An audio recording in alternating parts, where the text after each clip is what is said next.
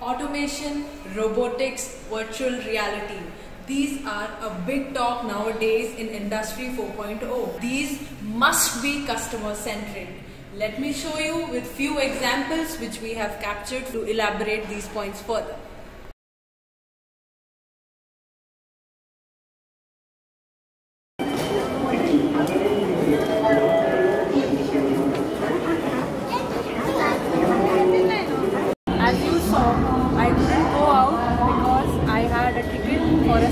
Prior to this. So now I have to do fare adjustment.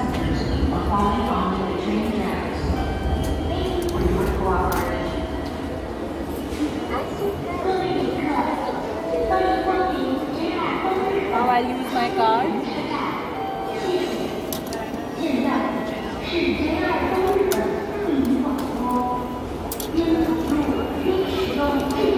Now I've made the payment I have a ticket and I can go out. Let's check it.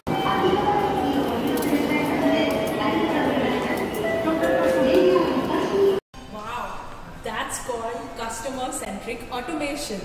I could go out without any difficulty even when I changed my mind at the last minute.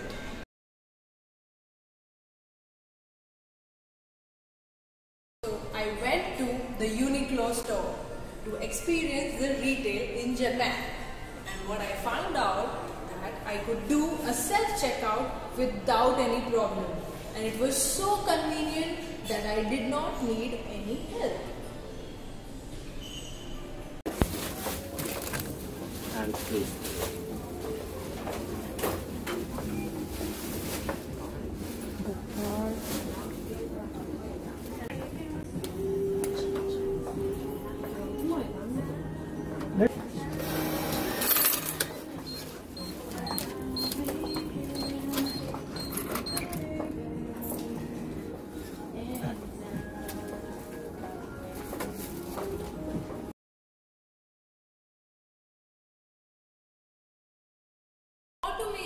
Need not to be fancy always. It can be simple mechanisms which can delight the customers.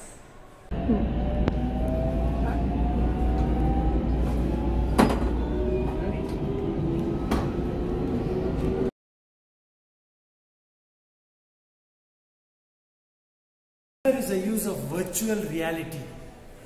Very convenient for the learner. Also reduces costs. Hands at the spray painting. This helps train the newly hired employees in how the work needs to be done. This can be implemented across departments quality, assembly, painting, inspection, everywhere. This helps the company reduce a lot of wastage. This gives the employees the liberty to do a lot of trial and error. This boosts my morale, helps me know where I fail and how I fared.